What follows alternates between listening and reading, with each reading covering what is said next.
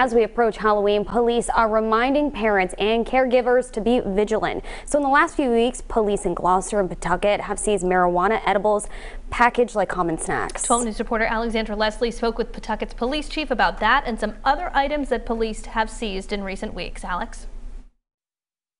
In addition to items like this, Pawtucket's police chief tells me that police have seized blue and pink fentanyl pills as well as individually colored fentanyl pills.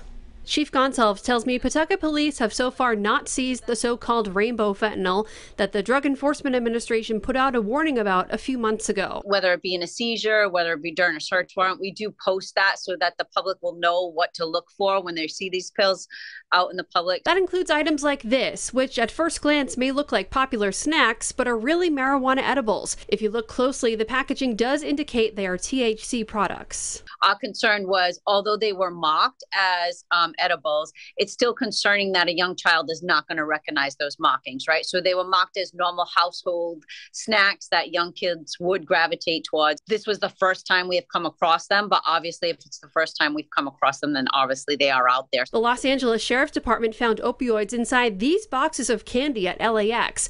The concern is that even if not marketed towards kids, the drugs could accidentally be mixed with the real thing.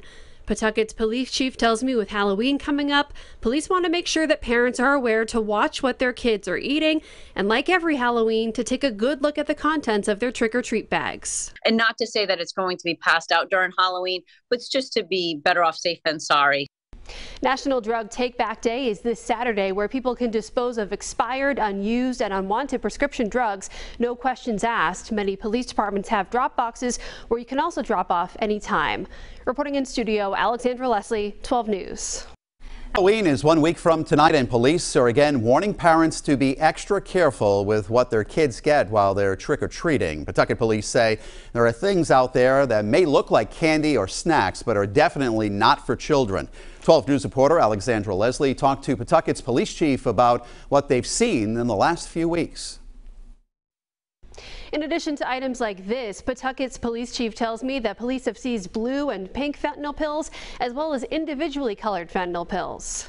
Chief Goncalves tells me Pawtucket police have so far not seized the so-called rainbow fentanyl that the Drug Enforcement Administration put out a warning about a few months ago. Whether it be in a seizure, whether it be during a search warrant, we do post that so that the public will know what to look for when they see these pills out in the public. That includes items like this, which at first glance may look like popular snacks, but are really marijuana edibles. If you look closely, the packaging does indicate they are THC products. Our concern was, although they were mocked as um, edibles, it's still concerning that a young child is not going to recognize those mockings, right? So they were mocked as normal household snacks that young kids would gravitate towards. This was the first time we have come across them, but obviously, if it's the first time we've come across them, then obviously they are out there. The Los Angeles Sheriff's Department found opioids inside these boxes of candy at LAX.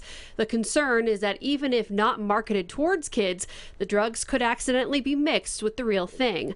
Pawtucket's police chief tells me with Halloween coming up, police want to make sure that parents are aware to watch what their kids are eating and, like every Halloween, to take a good look at the contents of their trick or treat bags. And not to say that it's going to be passed out during Halloween, but it's just to be better off safe than sorry.